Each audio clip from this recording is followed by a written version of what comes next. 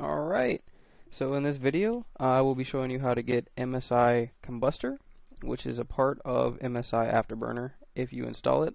Um, you can also use it individually uh, outside of MSI Afterburner, but either way uh, we will be showing you how to get it today.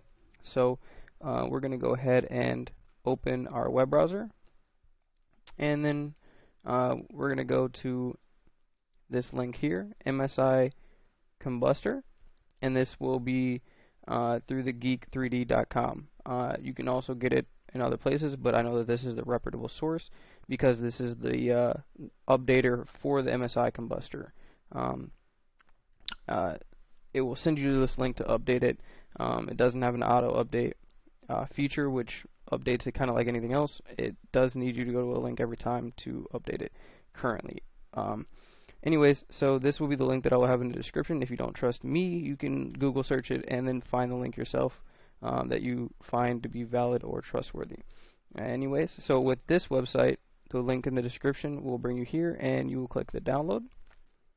And you will click the top link. These are the previous versions. This is the newest one available. So we'll click that one. And then a big download button here will pop up from the Geek 3D server and we'll click that.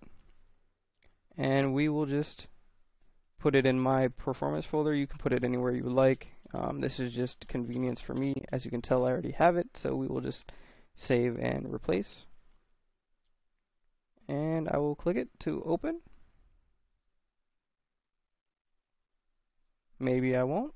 We'll go here to my tools and we will go to performance MSI Afterburner and then we will click the newest one available this screen could or could not pop up depending on uh, your computer. For me, it does, so we'll click More and Run Anyway. And then click Yes. I would like to allow it to modify my computer. Uh, it's just downloading the settings and, and everything into the prospective folders. Um, accept agreement. If you would like to read through this, you're more than welcome to. Alright, and then obviously this is the folder that is going to end up in. I already have it, but we'll do this anyway. Um, so you have the option to create a desktop icon and quick launch. I already have the app and everything installed, so I will uh, not choose to do that. And then simple as that, it just installs and extracts the files.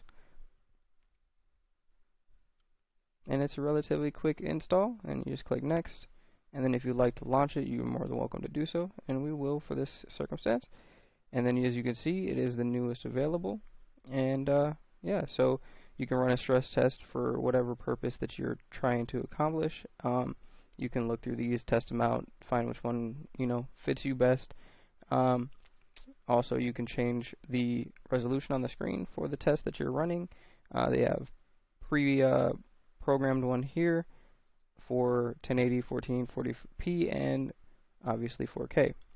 Um, you also can check for the artifacts, turn that on and off, whether you want to check for artifacts, whether you're trying to overclock your card, or if you're just keeping it um, as a genuine test for FPS. Um, you can also have it full screen or not full screen. And then uh, I believe this is a CPU burner. Uh, it's like a test bench for your CPU. I haven't used it before, so I'm not going to uh, explain something I don't understand. Um, but yes, that is everything that you will need to know to install MSI Kombustor. And then once you do install it, I don't know if you have to restart or not MSI Afterburner, but this option will become available if you don't want to use MSI Kombustor as a standalone. Alright, thank you guys and have a wonderful day.